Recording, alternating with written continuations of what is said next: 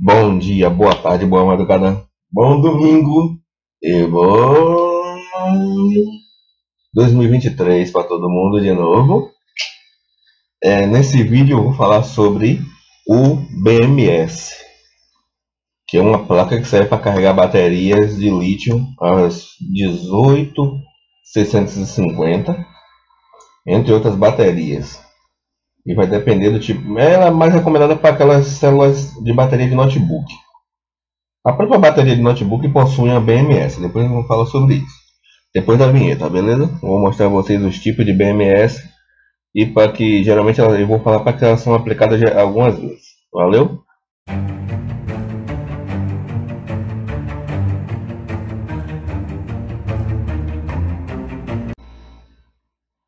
Primeiro vamos falar qual é o termo do nome BMS. O nome BMS vem de. Hum, é, o termo BMS ele vem do, do termo Battery Management System. É um sistema eletrônico responsável pelo monitoramento e pelo controle das baterias de lítio. O BMS monitora a tensão, a corrente e a temperatura e estado das de carga das baterias. Além disso, o sistema é, é responsável por limitar essas variáveis, evitando sobrecarga, sobretensão, subtensão e subtemperatura. Entendeu? É... Além de monitoramento, o BMS também é importante, tem a importante função de realizar a equalização das células dos bancos de bateria Baterias de lítio são sempre encontradas na forma de bancos que contêm uma certa quantidade de células ligadas em série. Nas ligações em séries não é suficiente monitorar a tensão, sendo importante o monitoramento e o controle de cada tensão, assim, tensão de cada célula individualmente. É, ou seja, um BMS, se você pegar um BMS assim é, tipo esse aqui, que é o, é o BMS1S, ele vai monitorar uma, uma célula só, entendeu? Ele monitora uma célula, uma célula só e ali ele monitora a temperatura e da célula através do próprio contato. Tem uns BMS que ainda tem um, uma pecinha aqui que você coloca colada com a bateria que ele mede a temperatura. Aqui, ó. um exemplo de aplicações para BMS é elas podem ser aplicadas. A um exemplo. É, os, os, carros elétricos das Tesla elas usam um BMS que controla o sistema da bateria do Tesla. Um exemplo. É, outro exemplo. Bateria de celular. A bateria de celular usa exatamente um BMS desse aqui ou seja, aí vai outro fio em outra área que carrega ali, ele é interligado um BMS desse, ou seja, controla a carga que vai para a bateria. É, a área de operação segura do BMS. A bateria de lítio possui uma SORA, Safety Operation Area, ou seja, uma área de operação que impõe algumas restrições como sobretensão subtensão e subtemperatura, sobretemperatura e subtemperatura. Beleza? Vamos lá falar sobre isso, sobre cada uma dessas partes. A sobretensão, que é uma situação de sobrecarga, deve ser evitada nas, nas baterias de lítio. A sobretensão pode causar um aumento abrupto da corrente, o que faz com que os íons de lítio não consigam mais se rodada adequadamente nas camadas de intercalação do anodo. Isso leva à formação de lítio metálico no anodo, o que, em consequência, pode acarretar perda permanente de capacidade ou curto-circuito interno. Pronto. Uma subtensão, aqui, subtensão, um estado de carga muito reduzido correspondente a um nível de tensão muito baixo, pode fazer o coletor de cobre do anodo se dissolver no eletrolito, causando curto-circuito interno. Pode ocorrer também a quebra do material catodo, ocasionando a perda permanente de capacidade de armazenamento. Quando a bateria está sem segurar a carga, é isso que está acontecendo, subtensão. Sobre a temperatura, o aquecimento excessivo da bateria de lítio pode desintegrar a camada de passivação e provocar uma reação do eletrólito com o anodo. Isso pode levar a um aumento descontrolado da temperatura interna através da reação exotérmica. Ainda como consequência, ele pode levar a um sobreaquecimento que pode ocorrer a quebra dos solventes orgânicos internos do eletrodo, produzindo a liberação de gases inflamáveis e aumentando a pressão interna da bateria. Finalmente pode ocorrer o, derretimento do separador, provocando um curto-circuito interno. E a subtemperatura, o resfriamento excessivo da bateria também não é uma condição desejável, pois isso reduz a velocidade das reações químicas, diminuindo a capacidade de carga e, tomando, e tornando mais lenta a recarga, e provoca a criação de detritos que podem ocasionar curto-circuito interno. A subtemperatura é difícil de ocorrer no território brasileiro, sendo um problema mais comum em países de clima frio, onde as temperaturas podem ser muito baixas no inverno. Pronto, já falamos aqui sobre isso aqui. É, vamos, vamos falar aqui agora sobre os BMS em si. BMS, como vocês podem ver aqui, esse aqui, esse modelo, esse aqui primeiro aqui, ele é colocado em bateria de celular. Aqui eu tenho um exemplo de como é a ligação dele. É dessa forma. Em alguns casos, no caso da de celular, ele tem outra fiação que entra aqui. Ó. Aqui assim ou aqui assim. Depois dela que você carrega lá e a bateria vai carregando. No caso desse também serve que você pode botar para puxar a carga e carregar por aqui. Isso vai mandar para o BMS o coisa que ele vai controlar a carga e o que vai para a bateria. Controla ao mesmo tempo. Carregador, pronto. Você já foi, pá. E geralmente, cadê? Aqui é o BMS 1, 1S. Vou falar mais sobre esse BMS 1S aqui agora, para vocês terem ideia. O BMS 1S, ele é, ele é do tipo, cadê?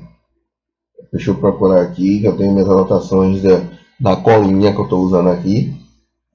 Quer dizer, para outra informação que eu falei agora, não usei cola não, porque a cola só usa em casos raros. Deixa eu só voltar aqui.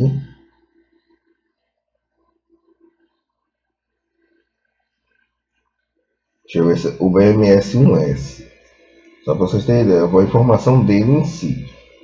Vou falar tudo sobre ele aqui agora, porque ele, ele, suporta até no máximo 3 amperes ele suporta a bateria de até 3,7 volts. É a única temperatura que suporta nele. Aqui, ó. A tensão de detecção de sobrecarga vai a partir do 4.25, 0,5 volts. É... A, cor, a detecção de sobrecarga. Aqui a informação desse aqui, no, porque eu peguei a informação de outra BM, de outro BMS aqui. Tem um BMS aqui que eu, eu já estava de olho nele, na informação dele que ele é mais preciso. Só que aqui eu perdi minha colinha, que peguei a cola errada. BMS, S.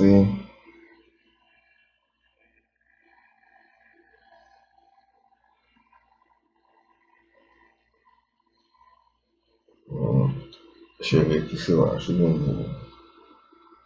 Hum. Ele só serve para bateria 18650. Viu?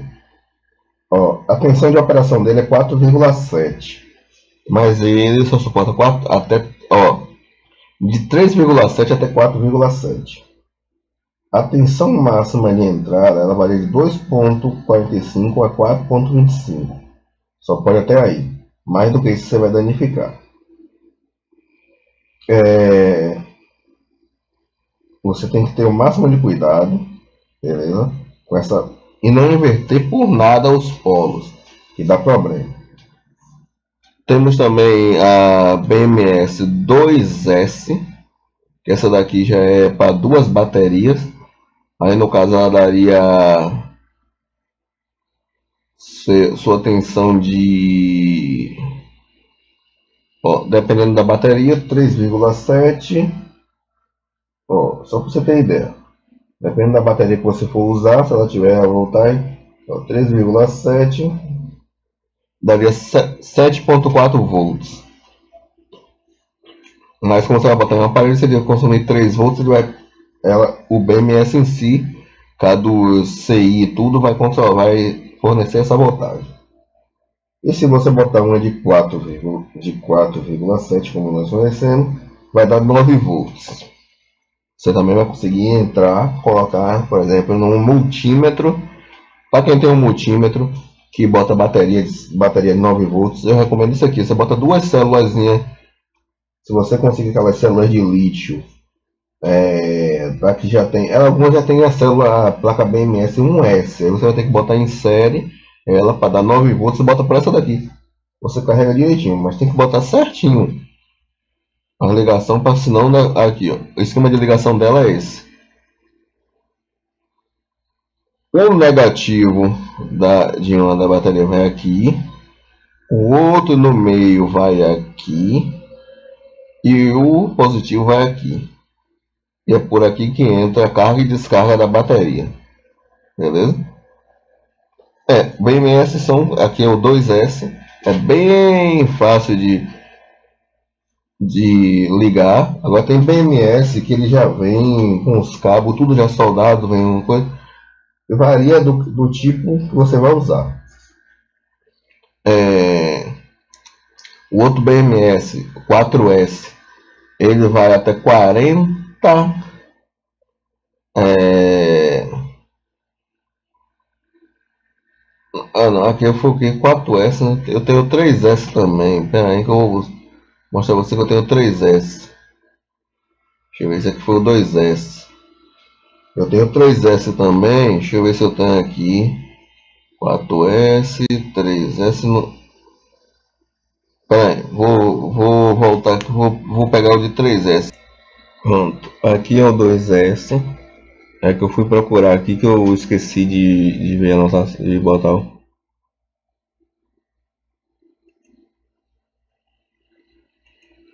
O 3S é esse aqui. Ele suporta até 40 amperes, dizendo o fabricante, mas eu não confio, nunca ultrapassa 40 amperes. Aqui, ó, ele, ele carrega até 12 volts, 12.6. Aqui é a, vocês verem, a, o esquema de ligação dele é em série tipo daqui ou seja, no zero você bota positivo aqui. O outro vem aqui, o outro... Não, aqui... Caraca! Espera que eu vou botar aqui para vocês o esquema de. Esse é o esquema de ligação de uma 3S. No zero você coloca o negativo. Aqui você coloca aqui 38.4 beleza. Esse outro ponto 4.2 é aqui. E esse primeiro que é o positivo você vai colocar aqui no 12.6 e aqui é a entrada de carga e sobrecarga. Essa é a do 3S vamos agora a 4S e essa é a 4S que ela já pega o que o negativo aqui que é, vou mostrar a vocês aqui o esquema. Uma, da 4S como é o esquema. Tá vendo? Negativo aqui. Aí o que seria esse meio aqui vem para cá esse outro meio vem para cá e esse outro vem aqui em cima. E aqui ela vai ele vai até 16 volts. Esse daqui é 16 volts. É, Aqui é uma conexão em paralelo, você vai fazer em paralelo com mais de uma bateria. Ó, cada um desses aqui ele tem um nível de amperagem. É o, é o, é o, é o quanto você pode botar de baterias para chegar a esse ponto. De sequência em série ou única. no caso, se você for fazer aqui em série dessa, de, essa 4S, você tem que. Eu vou dar uma dica. Deixe em 30 amperes, deixe 10 amperes de folga, ou até se tiver 30 e poucos amperes, deixe o resto de folga para não sobrecarregar muito o circuito, beleza? E tem a, a essa daqui é a famosa essa é a BMS de quanto mesmo que eu esqueci essa BMS 5S e essa daqui ela vai até quantos volts que eu esqueci também 19 volts 18 19 volts não tem uma que vai até 24 volts mas eu não recomendo essas BMS maior eu sou mais você comprar um circuito de ligação que pegue, entendeu? Né? Deixa eu ver aqui. Essa daí acho que é a 5S mesmo. Deixa eu dar uma olhada aqui se é ela mesmo. Sim, ela vai até 21 volts, 100 amperes. A ligação dela eu vou, mostrar, vou mandar para vocês aí para vocês verem.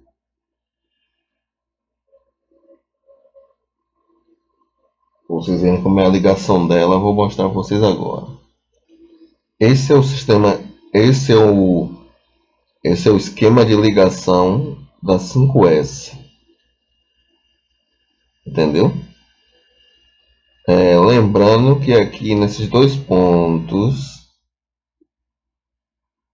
aqui quando você ligar a bateria, a última bateria aqui, no caso é aqui e esse ponto aqui esses são o ponto de carga e descarga da bateria. Entendeu? Ela vai até 100 amperes, como eu falei. Por aí vai. Vou, agora vou, ver, vou mostrar vocês uma outra aqui que também é interessante. E tem essa aqui, 6S. Gente, tem a 6S e o formato de ligação dela é esse. Ó, o máximo de BMS que você vai achar por aí é até 13S. São 13 baterias. É, vai depender de quantos volts você vai querer. Beleza? A de. Só para você ter uma, uma ideia. A de a 13S, no caso, vou ver aqui, ela é para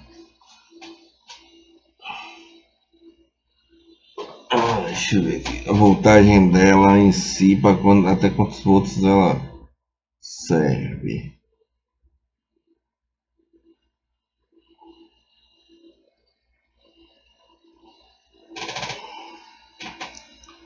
O porque meus cálculos aqui agora. É. Cadê?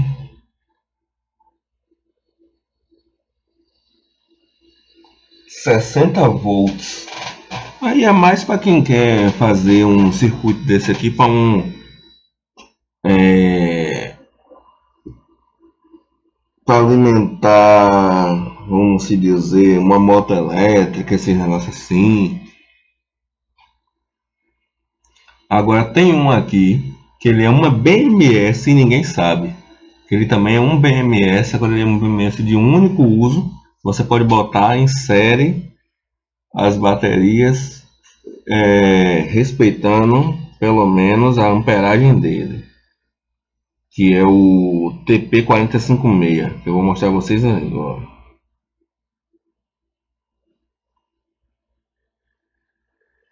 E existe três formatos do, do TP456. Mas eu vou mostrar, falar sobre o TP456, que é o esse esse é o que eu recomendo, que eu vou mostrar a vocês. É o que eu recomendo, beleza? O tipo que eu recomendo. E o TP456, ele suporta a amperar até com a amperagem mesmo que ele suporta, que eu esqueci, rapaz, 3 amperes. É um, ó, até onde ele cai. Eu vou mostrar a vocês aqui agora. Esse é um TP4056. Diferente dos outros BMS, é nesses dois pontos que você bota a bateria e aqui é onde sai a energia. Por exemplo, vamos dizer que eu quero criar um carregador de celular com a bateria uma lanterna que ela seja recarregável. Conecto a bateria aqui e aqui é onde vai sair para alimentar a, a parte do, do LED. Eu recarrego por aqui, eu soldo dois, um fio aqui boto o conector que eu tiver. Ele tem circuito de proteção. Beleza? Aqui é o, onde é o chip que faz o controle da carga de Tem dois LEDs. Um vermelho, um azul, verde, vermelho. Aí vai, vai, vai por marca, tá ligado? Fabricante aí, bota. Ele suporta bateria de até 4.7 volts, 4.6 volts ele suporta, ó, a tensão de entrada dele pode, pode, você pode botar até 5 volts, não passe disso. Ele só aguenta até 3 amperes, mais do que isso não vá. Só para você ter ideia, uma bateria 18.650, ela tem, ela varia, geralmente você pode botar uma de 2.500 mAh. 2.500 mAh é, da equivalente a deixa eu ver aqui um exemplo. Se você fechar aqui uma botar uma bateria de 2600 mAh ou seja ela tem 2.6 amperes. Dá para colocar de boa por esse BMS aqui beleza? De boa Quer dizer, na, se você, na verdade, a amperagem, quando fala dele aqui, é quando você colocar em. É, nessa bateria você tem que botar pelo menos uma bateria. Você vai escolher uma bateria de uma boa. Por exemplo, 2600 mAh você consegue fazer uma lanterna ficar o dia todo carregando. Você é mais de uma célula. Agora, se você quiser para mais células, e tudo. Você pega as outras para maior amperagem, você pega as outras que eu mostrei antes, coloca um regulador de tensão na saída dele para carregar, para regular para a sua lanterna, para a lâmpada acender naquela voltagem, que é o LED coisa, e você tem como carregar e, e, usa o regulador. Valeu? Esse foi o vídeo explicando tudo sobre BMS. Esse é um tipo de BMS que pouca gente conhece que ele é um BMS. Mas ele, ó, existe ele com entrada micro, é, mini USB, micro USB, que é essa, e é tipo C. Eu recomendo para pessoas que agora estão tá usando tipo C, comprar logo tipo C. Para vocês ir carregando. E fica melhor. E não tem essa de inverter lado e, e é muito mais prático agora. Né? Até para fazer acabamento de carcaça. Então, esse foi o vídeo. Não se inscrever no canal, deixar o like, compartilhar o vídeo nas redes sociais. E breve vocês vão ver eu fazendo o projeto que tem aí da TV aí, eu usando o BMS para dar o é, para fazer ela ficar no modo portátil 100%, né? Breve. E depois vai ter um circuito de TV digital que eu vou fazer para ele, mas vou fazer o projeto ainda com impressão 3D para depois fazer tudo, mas fica com um vídeo bem lá no futuro. É, talvez saia esse ano, talvez no próximo, né? Vamos ver aí. Valeu, fique com Deus. Não esqueça de deixar o like, compartilhar o vídeo nas suas redes sociais e clicar no sininho para notificação de novos vídeos. Valeu, fui, fique com Deus.